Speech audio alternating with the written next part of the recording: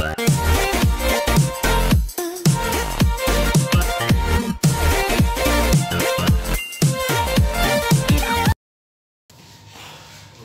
konting linis tayo ng mga gulong.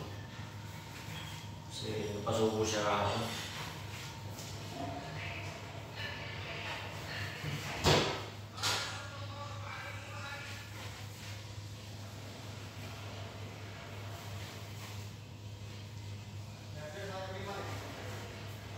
Kailangan dapat pag dadating ka rin sa ride, kunting punas para kahit pa paano eh,